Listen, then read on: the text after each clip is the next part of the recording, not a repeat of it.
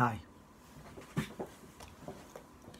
I'm here to tell you a little bit about Hereward the Wake and the rebellion surrounding the Isle of Ely. Reasons for the rebellion? Well, same as all the other rebellions, really, at the time, the Normans had taken the land of the people whose land it had been before. And the leader of this rebellion, Hereward, was said to have been an English thane. Chances are he'd owned some land and the Normans had taken it from him. This whole Hereward the Wake rebellion around the Isle of Ely happened 1070 to 71. And you see, it was a problem for William because these rebels held out for one entire year on their island. So it was very difficult, you see for, for the Normans to take the island. And to begin with, William was dealing with other problems. Like he was dealing with the north, which you might have learnt about already. That took a lot of his troops. So he had to leave the people in the area to deal with it. And they couldn't. Because these men, these rebels, were on an island. An island that had a, a causeway to the sea. So you could actually sail to the Isle of Ely, um, which is precisely what the King of Denmark, King Sweyn himself, did. So what's set up here for, for William is a rebellion on an island that's gaining momentum and it's got the king of another country and a foreign army joining in as well. And before William himself came to, to get involved, two other things happened. One of them was Hereward, his followers, and the King of Denmark and the Vikings went to Peterborough Cathedral, which had been put in the hands of a Norman, raided it, took the treasure, and went back to the island with the treasure um, and in the Vikings' case, went back to the ships with the treasure. And their success in this raid, as well as the fact that they were holding out for months and months and even a year entirely, attracted more supporters, which is the second thing, because a leading uh, magnate, we would say at the time, a very important, powerful person that you might know, known as Morcar, he turned up to help as well. So, you've got Hereward, You've got a lot of treasure. You've got an island surrounded by marshland and water. And you've got the, the King of Denmark. Did I say already? I don't know. All of these things, and the whole thing's lasting a year before William da, da, da, turns up. What does William do? Well, he does a number of things. The thing that people always remember is the witch with the bottom out. That's not important for your exam, but it did happen.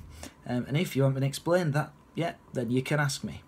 But what he actually did to solve it, first of all, is he decided to pile things into the marshland and build a bit of a bridge across to the island, which he could send his soldiers across to attack. Problem was, the bridge wasn't particularly sturdy, his men were wearing armour, bridge collapsed, men went in the marshland, drowned. Oh dear.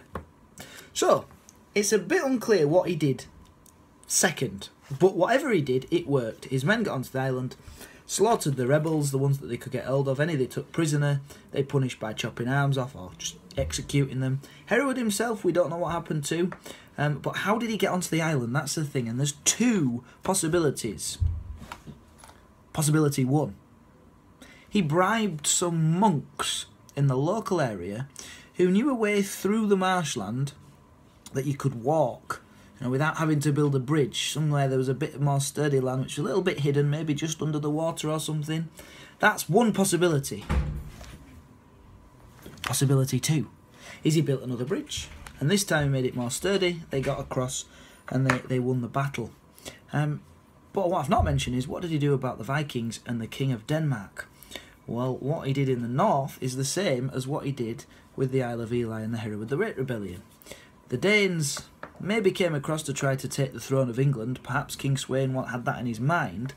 But they also probably came for the money. And so William did the exact same thing as he did in the north. He paid the Vikings to go away. They had a load of treasure from Peterborough Cathedral anyway. They got some more money from William, and off they went. So the Danes went away. William attacked the island. Took a little bit of time to take it, but the whole thing fell apart in the end. And there we go. So when you're thinking about those three factors, well, William did show some decisive leadership. He made the odd mistake as well. The, the, the rebellion was quite a strong rebellion, but if we're thinking of coordination, it was at roughly the same time as what was going on in the north. It was just a little bit afterwards.